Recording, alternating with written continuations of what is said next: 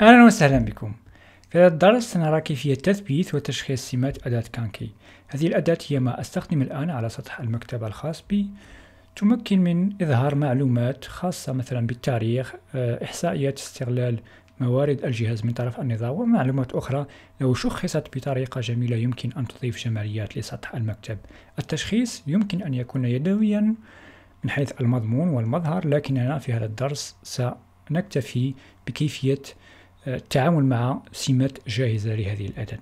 إذا نبدأ من الصفر عن طريق أولا وقف الأداة kill all كانكي ونعتمد على الدرس الكتابي لتحميل أولا قبل تحميل السمات نقوم بتثبيت الأداة عن طريق إدخال هذا الأمر في الطرفية أو عن طريق البحث عنها في مركز برمجة أوبونتو نبحث عن كانكي فتظهر لنا هذه النتيجة ونقوم بتثبيتها. بعد التثبيت يمكن أن نقوم بتشغيل كانكي لكن مظهرها لن يكون جميلا لهذا. سنعمل على آه، تحميل سمات خاصة بها.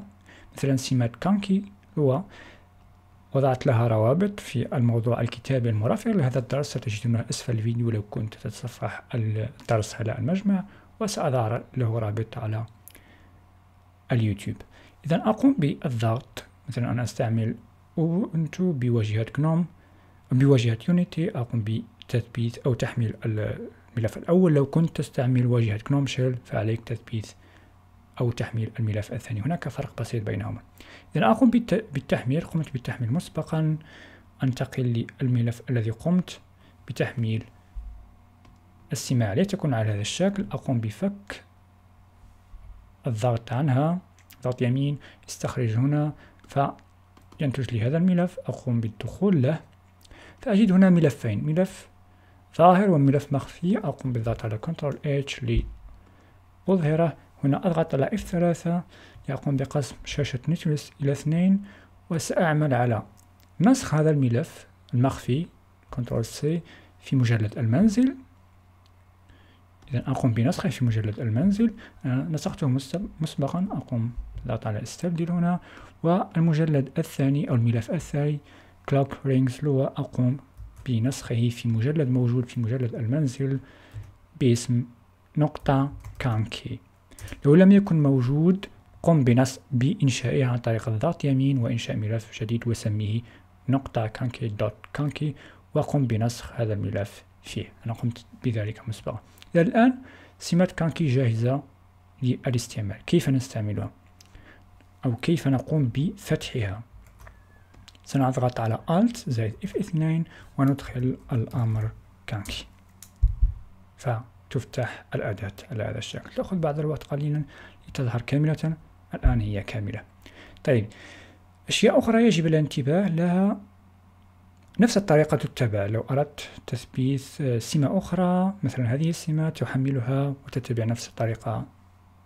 نسخ الملفين في المكانين اللذين قمت بشرحهما. ملاحظات أخيرة هو من يستعمل وجد جنوم شيل عليه تحميل الملف ملف السمة الخاصة بها. من يستعمل واجهة XFCE أو بيئة المكتب XFCE مثلا توزيعة كوزوبونتو. عليها الانتقال إلى Applications Menu تكون هنا أعلى. وبعد ذلك عليها انتقال ل Windows Manager Tweak. وفي النافذة التي تفتح ينتقل للسان Compositor ويقوم بتفعيله. لأن لو لم يقم بتفعيله سيظهر خلفية سوداء للأداة. طيب حين أقوم بتشغيل النظام. بتشغيل نظامي مثلا هنا أوبونتو لو أردت أن تشتغل أو تشغل أداة كانكي بطريقة تلقائية مع تشغيل النظام فعلي أن أدخل على تطبيقات بدء التشغيل أبحث عنها في واجهة يونيتي الداش وأضيف هذه المعلومات هنا. أضغط أضف أقوم بنسخ اسم أعطيها أي اسم مثلا أنا أعطيها كانكي لي تكون واضحة والأمر هو المهم. هنا هذا الأمر ضروري أن يكون على هذا الشكل حتى لو كان هناك فارق بسيط في التوقيت. عفوا لم أقم بنسخ هذا الجزء. هذا الجزء يجب أن تقوم بنسخه في الأمر هنا. قم بنسخه في هذا الأمر هو فقط يقوم بفتح الطرفية في الخلفية يعني لا تظهر لك وبعد ذلك يقوم بفتح كانكي من خلالها. هنا أربعين آه، هو الوقت الذي تنتظر لأن كانكي تعتمد على الواجهة الرسومية ولذلك يجب أن تبدأ. أولا الواجهة الرسومية تنتظر قليلا فبعد ذلك يمكن تشغيل كانكي بعدها. إذا قم بنسخ لصق هذه الأوامر. لذلك لن تضطر كل مرة لفتح كانكي يدويا. لو أردت غلقها فكما قلت الأمر هو kill all كانكي عن طريق الطرفية فتتم غلق أداة كانكي.